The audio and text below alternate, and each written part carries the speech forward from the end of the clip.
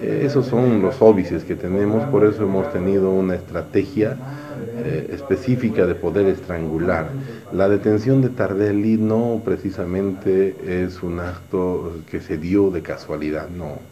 Es un acto que deviene de una serie de planificación policial que ha merecido no solo la planificación boliviana, sino el asesoramiento de la Policía de Brasil, que en una reunión a este director le han manifestado la forma de comportamiento de este delincuente y los cursos de acción que debemos seguir cada uno de nosotros. Y no precisamente ir detrás de ellos en el monte porque podríamos ser presa de los mismos, ¿no? Y la intención no era cazarlos, sino estrangularlos y hacer cortarles las vías de suministro y hacer de que estos poco a poco vayan saliendo. Hemos ido cercando cada vez más, más de aproximadamente 10.000 hectáreas. En este momento estamos reducidos a unas 1.000. Y es solamente ese es nuestro curso, nuestro radio de acción y los tenemos encajados en unas 1.000 hectáreas. Ahora encontrarlos será el, la otra tarea para poder posteriormente aprenderlos.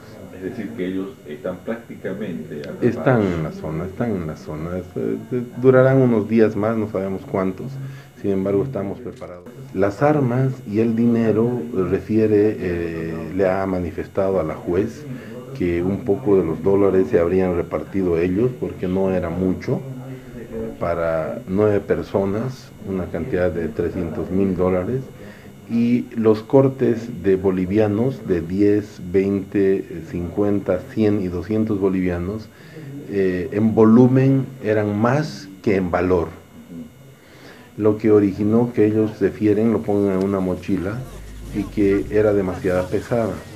Refieren su declaración ante la juez que ese dinero lo habrían quemado cuando ellos incendiaron eh, la casa donde se guarecían para generar una cortina de humo y lograr salir por la parte trasera. Prendieron dos garrafas, una de ellas logramos eh, contenerla, pero las demás no y se produjo la explosión en el lugar de los hechos. Eh, es probable que esto sea verdad, el Tardelli esté diciendo la verdad que se haya quemado pero es probable también que esa parte de los bolivianos y las armas esté enterrado en alguna parte del monte, que es parte del modus operandi que han utilizado en el Brasil. En el Brasil una operación de esta naturaleza ha durado 30 días de persecución y aproximadamente unos tres meses de búsqueda del dinero y las armas utilizadas por un grupo delincuencial. Eh, la prioridad en este momento es la aprehensión de Tardel, misión cumplida. La segunda prioridad es la aprehensión del resto de los pistoleros. ¿De cuántos? estamos en ello, aproximadamente ocho. Estamos en ello. Y la tercera prioridad seguramente será ya la búsqueda de las armas y el dinero si es que estos habrían enterrado en algún lugar. Me decía el comandante de la policía brasilera, el coronel Freitas, que ellos entierran el dinero y marcan con GPS. ¿No? entierran armas y dinero, que es la experiencia del país. En Mato Grosso Sur, en la frontera casi con Bolivia, se han producido 57 atracos de estas características.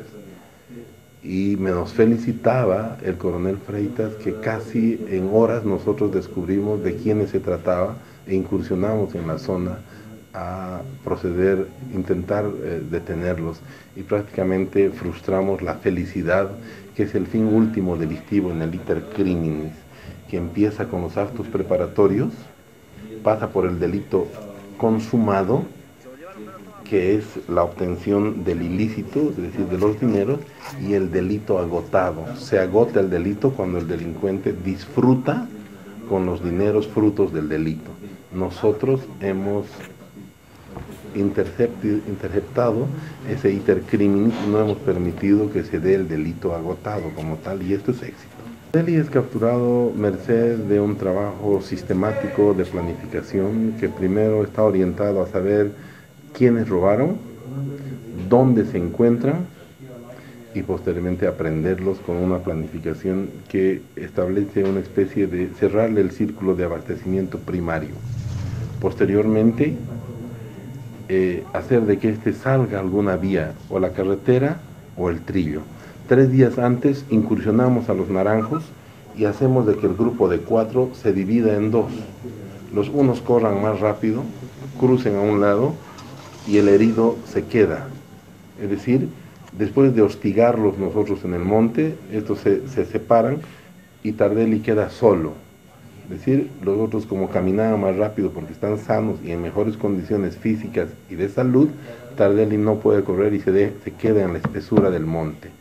Y tres días después sale a buscar agua porque ella se encontraba solo y desesperado, que es el fin que nosotros buscábamos, hacer de que estos se desconcentren y a solos empezar a, a detenerlos. Y eh, un comunario sin lugar a dudas da aviso de que por ahí se encontraba la fuerza policial se encuentra en la zona, no, es, no tiene que hacer mucho el, el, el, comunario para avisarle a la policía y nosotros empezamos a patrullar el monte hasta lograr estrangularlo y detenerlo a Tardelli. Incluso Tardelli, ah. perdón, perdón corte, incluso Tardelli había pagado por un plato majadito 100 bolivianos. Dice que pagó, pero no le dieron. Es mentira, no comió. Y alguien decía también por ahí, y me causa gracia, que le habían dado una pastillita para dormirse.